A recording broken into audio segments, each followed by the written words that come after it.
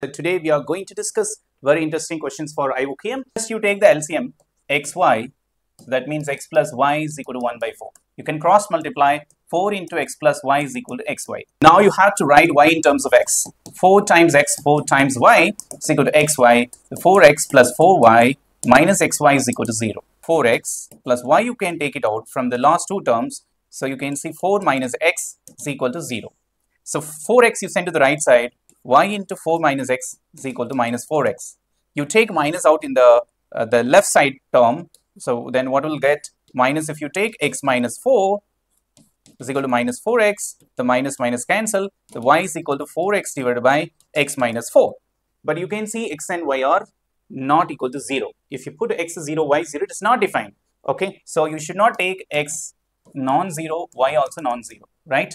So therefore, uh, how to write this one x 4x divided by x minus 4 so whenever this kind of expression is there you can see y is the integers no? Any integers right? Except 0 so we need to convert this into some constant term by the variable. So what we can do so you can 16 plus 16 you can add.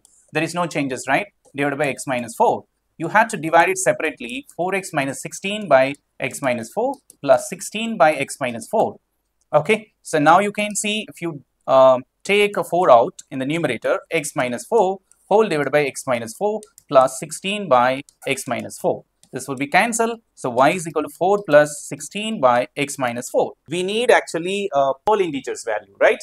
So positive or negative, whatever it may be. But y should not be 0. So the y should be integer means the 4 is integer, there is no problem. But you can see the second term 16 by x minus 4 is there. So that should be integer. Then only the whole sum will be integer. y should be integer, right? Okay, therefore x minus 4 should be factor of 16. Then only the ratio should be integer, right? Therefore x minus 4 is a factor of factor of what is that 16, right? So what are the factor is possible? You can take x minus 4 is equal to plus or minus 1 so plus r minus 2. You should not take uh, minus 4. So minus 4 if you take you will get uh, 0 right. So, so you'll get uh, plus 4 only the plus r minus 8 and plus r minus 16. These are the factors possible. You can see plus 2, 4 and then 6 and 8 and 9. So you can equate to each of the term. You can find the 9 pairs possible. Okay. You can find out easily right. So you just equated x minus uh, x minus 4 is equal to 1 and x is equal to 5. x minus 4 is equal to minus 1, x is equal to minus 1 plus 4, it's 3. Like that, you can find out. So how many pairs possible? 9 possibilities there.